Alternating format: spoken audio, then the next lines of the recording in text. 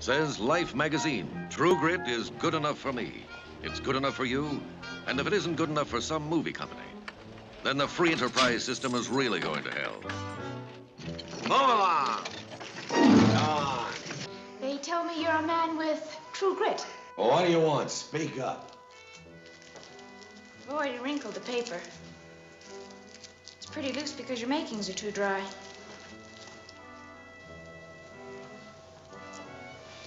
I'm looking for Tom Chaney. Well, who's he? He's the man that shot and killed my father, Frank Ross. Says the New York Times, as touching as it is irreverently amusing. Marshal Rooster Cogburn and I are going after the murderer, Tom Chaney. How did you light on that greasy vagabond? They say he has grit. He's a notorious thumper. He's not a man I would care to share a bed with. Nor would I. And now, Paramount Pictures presents the Hal Wallis production, True Grit.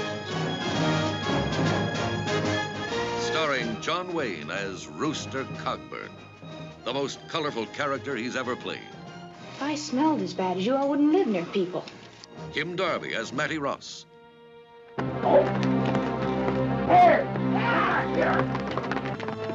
My God. She reminds me of me. Glen Campbell in his first big screen role. A little earlier, I gave some thought to stealing a kiss from you, although you are very young. And you're unattractive to boot. But now I'm of a mind to give you five or six good licks with my belt. Well, one would be as unpleasant as the other. True Grit, a slip of a girl, a pot-bellied, one-eyed Western Marshal, and a Texas Ranger wearing breeches a size too big.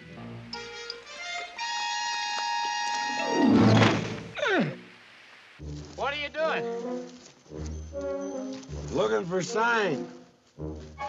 You couldn't see it if you saw it. They're trailing the most surprised killer the West ever knew. I'm here to take you back to Fort Smith and hang you. And I think I will not go. Now, how do you like that? Now, you mean to say that you won't go with me on your own free will? You just got it the other way around. Now, you will follow me. I didn't think you'd do it. Says Saturday Review, True Grit is lively, uproarious, high adventure. I mean to kill you in one minute, Ned. Or see you hanged in Fort Smith at Judge Parker's convenience. Which'll it be? I call that bold talk for a one-eyed fat man.